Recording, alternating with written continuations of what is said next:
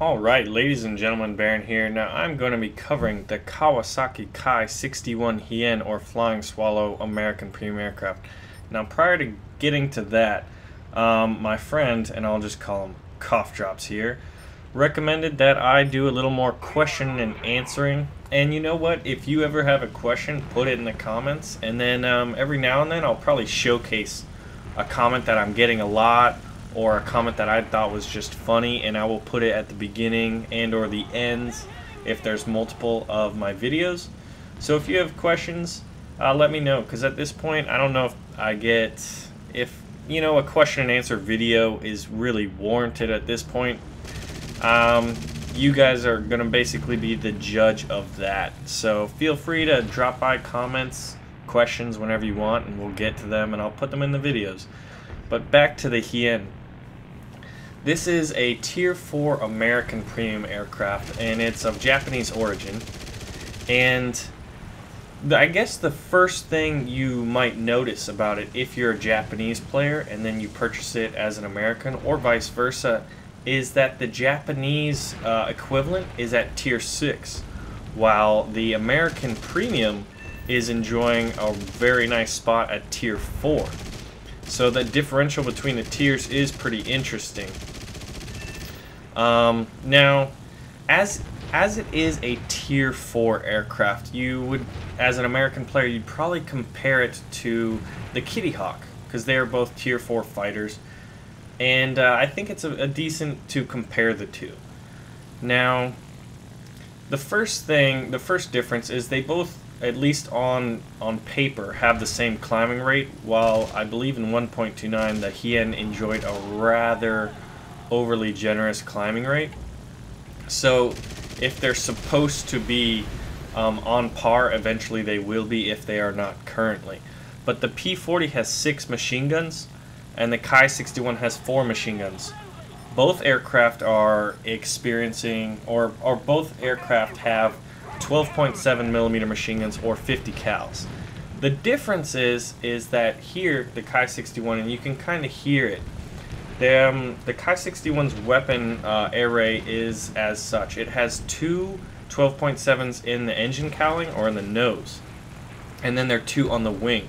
So what that means is the two on the nose are going to be synchronized so that they can fire through the propeller, which means they'll fire at a slower uh, rate of fire in the Kitty Hawk, it has six machine guns, three on each wing. So they don't have to be synchronized and they don't have to fire through the propeller, so they're going to fire faster. That um, combined with the fact that there's two more of them, I mean, the Kitty Hawk will have a much better uh, damage potential and a much quicker rate of fire for all of the machine guns. Um, they both the Kitty Hawk has a, a, couple less rounds, and given it has more machine guns, that means the Hien will have more rounds to fire. Something interesting, I looked at the statistics of the Ho 103, which is the Japanese 12.7 millimeter machine gun, and it has a muzzle velocity of 780 meters per second, whereas the Browning ANM2 has 890 meter per second velocity. So that means the American machine guns will fire, uh, the bullets will travel faster. And the rate of fire of the Browning was faster than the Ho 103, um, at least the Ho 103 that was synchronized. So that is pretty interesting. So the Kitty Hawk will have a lot more firepower, um, despite it only having two more machine guns. Now, another reason to get this aircraft, is, aside from its differential, meaning in Japan you'd have to wait till Tier 6, but in the US, granted it's premium so you can play it whenever, but uh, in terms of competition, you'd be going up against Tier 4 aircraft. It's kind of easier to fly than the Kitty Hawk, so that has its advantages inherent in itself, as well as the economy boost of just having a premium aircraft in general.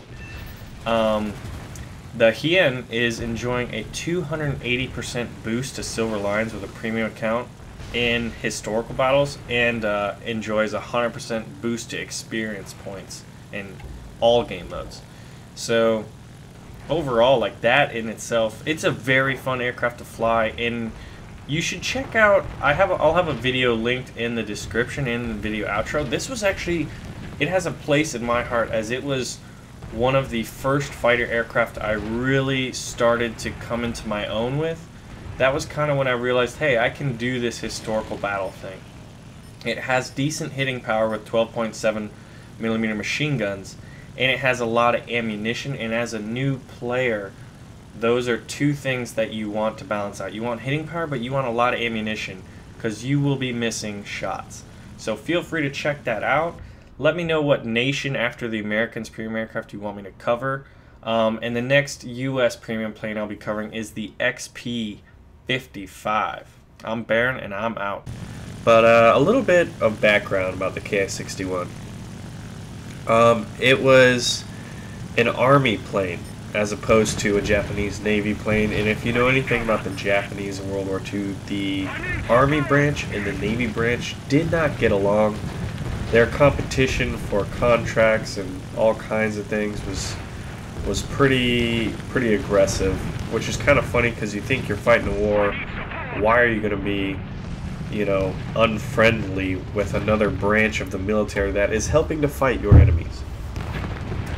And look at this. What do we have here? A nice juicy yak.